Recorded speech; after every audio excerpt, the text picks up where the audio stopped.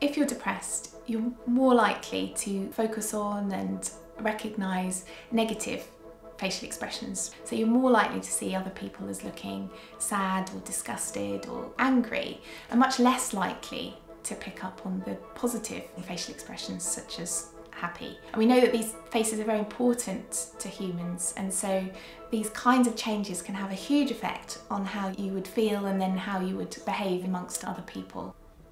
Around one in five of us will experience depression at some point in our life and once you've had one or, or two episodes of depression the likelihood is that it it will be a recurrent condition.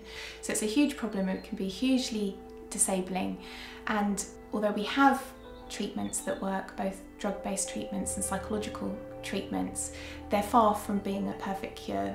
A pharmaceutical companies are looking at, at new ways of treating depression with new types of drugs that might target different parts of the brain. But we have been in a situation where it's very difficult to test out these new drug treatments.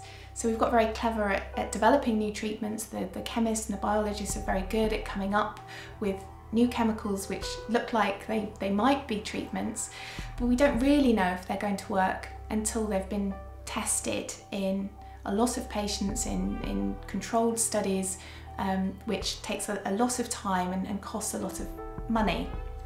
And as we've got a lot of different potential treatments, we need a way of, of selecting which ones are, are likely to be better than, than others to then go on and be tested in these clinical designs. And so we have a computerized task where different facial expressions are presented on the screen quite briefly, just for half a second. And then we ask people to indicate which face they can see by pressing a, keypad.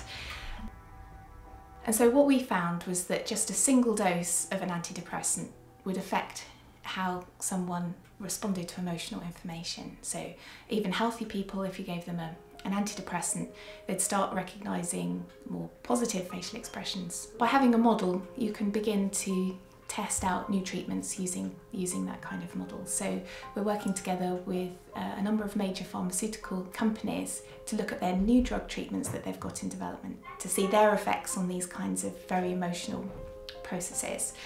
Um, and this will tell us if these drugs are affecting the brain and the psychology of these emotional processes in a similar way to established drug treatments, which hopefully will mean a reduction in the time it takes to find these new treatments for depression and certainly reduced cost and difficulty in finding these much needed treatments. P1vital is a uh, clinical research organisation providing experimental medicine models as an interface between the companies, the industry and academia and ensure that the way that we do our science meets the kinds of guidelines and regulations that apply to industry.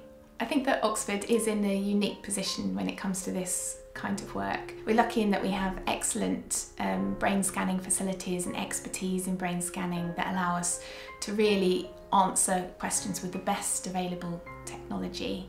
We have clinical research um, testing facilities so we can administer, uh, give people drugs that may not have been given to that many people before and therefore need to be done in a very safe and controlled environment.